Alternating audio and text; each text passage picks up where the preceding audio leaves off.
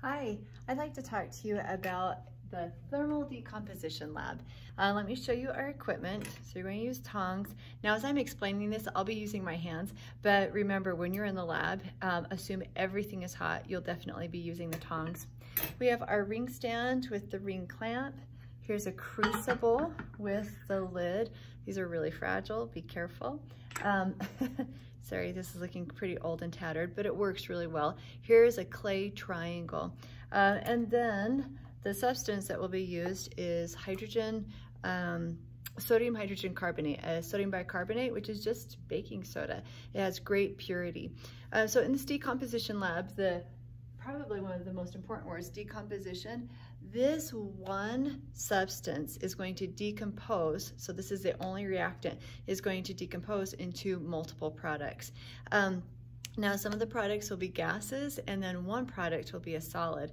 Um, thermal right here means that we're going to heat it and that's what makes it decompose. So how you do this lab, um, you're first going to get your crucible um, and uh, it depends on your professor.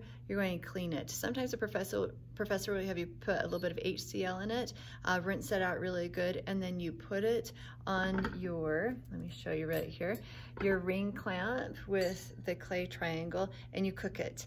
Um, you'll cook it for five minutes to burn off any impurities that might be uh, left, that might be remaining. Um, it just depends on, on your teacher, so ask your, ask your teacher. Okay, so let's say that this is clean. You're going to put it on your analytical scale, and then you're going to um, weigh into it a certain amount of substance. Um, now, on the scale, I would tare the scale first, so it's a zero, put this on, and let's say it weighs 40, 40 grams. Um, and then pour this in. I have my students use 20 grams of the uh, baking soda, of the sodium bicarbonate. Um, so that means that they'd have to finish at um, you know, close to 60-ish grams right in there. And I have them record both of those numbers. Then we cook it. After it's cooled, they come back and weigh it. Um, and there's something really, really important here. A um, mistake that I've seen students make. Students will weigh the crucible, write down the amount, and then they'll get out a little weigh boat and they will pour the sodium bicarbonate into the little weigh boat and then pour it in here. and then at the end of the lab, they have an issue. They've cooked it, the solid is in here and then they go through the trouble of scraping out the solid and putting it in the weigh boat. Now, errors. Where can errors happen in this? Number one, that first weigh boat, when you pour into this, and you're pouring it in here, anytime you transfer, you're going to lose some of your substance. And so if you weighed 20 grams in the weigh boat, pouring it in here, I guarantee you're not going to have an exact 20 grams that goes into this. And then the biggest error is after it's cooked, trying to scrape everything out into the weigh boat to weigh it again. So you weigh everything in the crucible, okay? So weigh that crucible, get its mass, add your 20 grams, cook it, and then after it's cooled, you just put that on um, and you have a total mass, subtract out the mass of the crucible, you now have the um, mass of the solid product, and that's really what we're looking at. Um, okay, couple of more details for you. So let's say that you have this all weighed, you have your substance inside of here, the Bunsen burner. So you're going to put your Bunsen burner right here. And when you cook with a crucible, you want the inner blue flame to touch. So let's say that this is my Bunsen burner. Wow, that's a really big flame. um, let's say here's your Bunsen burner. There's the flame. There's your inner blue flame. You want to position this crucible so that the bottom is touching the tip, the apex of that inner blue flame. Um, so when you first get it started, quickly, you're going to adjust the ring clamp up and down so that as this is sitting here, that inner blue flame is hitting right there at the bottom. Um, now the ring clamp will heat up quick and so you want to adjust that quickly. Okay, so we have our Bunsen burner. We have this on here. Remember, I'm touching this with my hands, but I'd be using the tongs. Be careful, go slow. These are slippery and if these fall, they break like none other, just super fast. They break easy.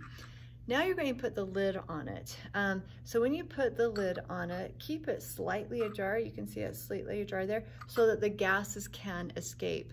When it's cooling, so I take this off, and to cool it, I recommend remove the lid and then get your tongs and remove the crucible. Okay, so let's say that I have my little, um, I have my kids um, cool on wire gauze, um, or you might have a little hot pad or something. So it's cooling, put the lid back on it. And here's the reason why. If water is one of the gases that has escaped from this um, and you let it cool, water from the atmosphere can absorb back into that substance and it's going to give you an incorrect reading. Um, and these errors, it's really good to think through all of these errors of, you know what, if this did absorb water, how would it change my result? Um, or if I had used a weigh boat and I poured the substance in here but didn't get all the 20 grams, ultimately, how would that change my result? Would I have more or less of my product? Um, so it's good to be thinking about the errors, um, what they would change for your results, and um, what can you do to minimize those errors and, and the limitations so that you can get better data. Um, so as it's cooling, put the lid on it so that no gases will absorb. Um, if you have an anhydrous substance, if there's water in the air, it will absorb it and it will skew your data. Um, so you let it cool. Now, how do you know it's cool? Um, you're not going to touch it. You're not going to grab it. What you do is you just put your hand next to it to see if it's radiating, just like you put your hands next to a, a fire. So put your hand next to it. If it's still radiating, you give it another five minutes. As soon as you put your hand next to it and you can't feel any heat, tap it.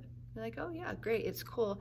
And then you're going to put it um, with, take the lid off, you're going to go weigh it without the lid. Um, and that will give you, ultimately, the final mass of the product and the gas has been evolved. Um, from there, there are all different versions of stoichiometry. You're going to use some stoichiometry. What's fabulous is you have an beginning amount of the whole substance, and then you're going to have a final amount of one product. So from there, you can do all kinds of stoich to figure out um, a mole ratio, to get the chemical equation balanced, to find the amount of gas that was evolved, um, all sorts of things that you can do. So um, there you have it. I think we covered everything. My last admonition, again, just be really careful. Everything will be hot everything here will be hot. Do not touch it. Do not touch it. We're using tongs at all times to touch anything. Okay? Have a great day and have fun doing the lab. Thanks.